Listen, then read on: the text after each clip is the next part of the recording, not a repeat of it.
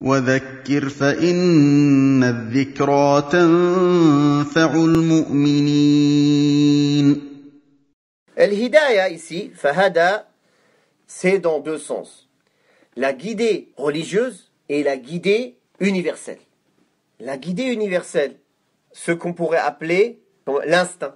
Par exemple, chaque chose qu'Allah a créé, les créatures, les animaux, les insectes, il y a un instinct en eux.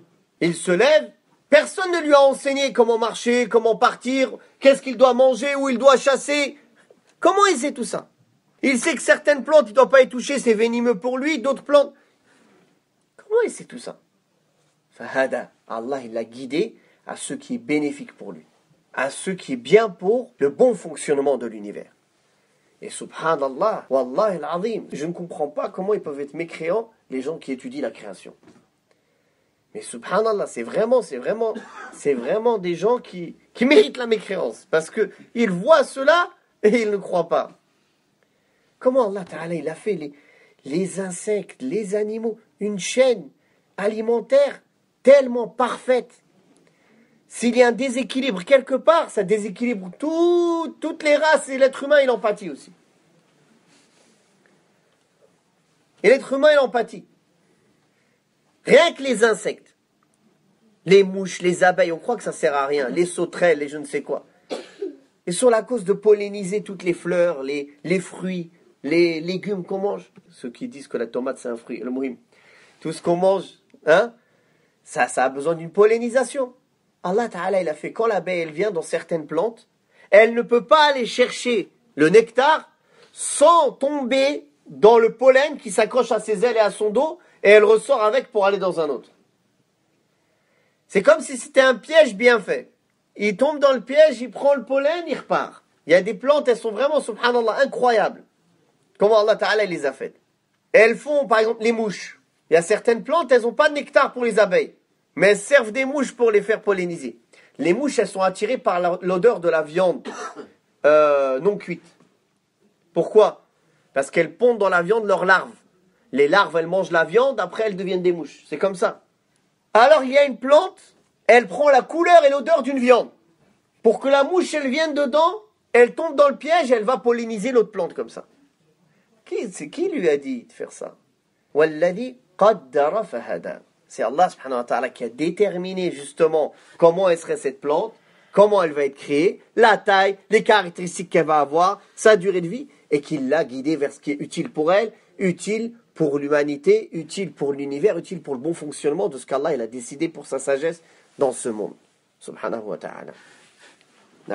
D'ailleurs, quand Pharaon, il a dit à Moussa et Haroun, qui est votre Seigneur? Et à Moussa, il a dit, mon Seigneur, ou notre Seigneur, c'est celui qui a donné à toute chose sa création, puis qui l'a guidé. Il a guidé toute chose, à ce qui lui est utile.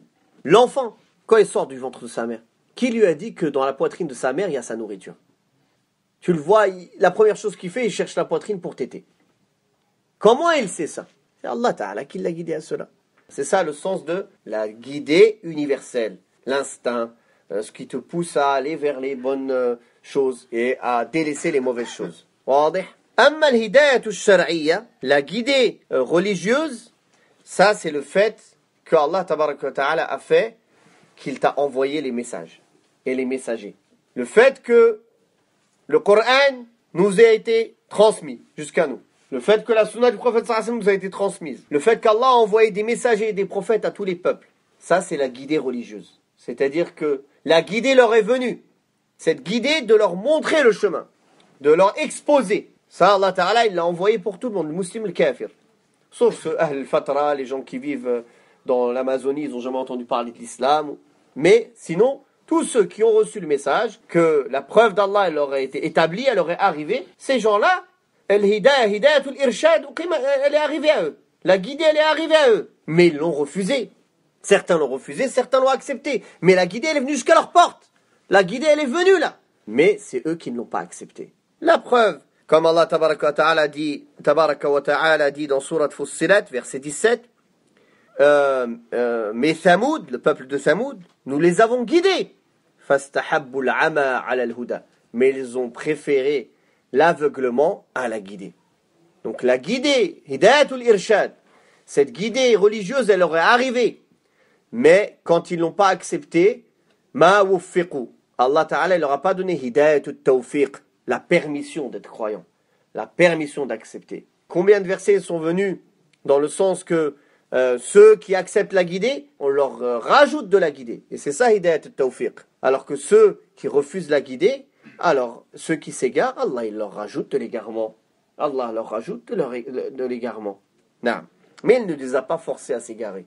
La guidée leur est venue jusqu'à eux.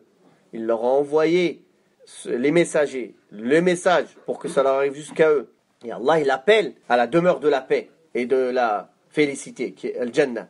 Donc c'est pour ça qu'il a envoyé euh, les messagers, c'est pour ça qu'il a révélé les livres, subhanahu wa ta'ala. La guidée religieuse, c'est l'objectif pour lequel l'être humain a été créé. Je n'ai créé les djinns et les hommes rien que pour qu'ils m'adorent, sans me donner d'associés. Donc, quand l'être humain sort de cet objectif-là, il devient au plus bas et il est même plus égaré que euh, les animaux, comme Allah ta'ala dit dans le Coran. وقل رب زدني علما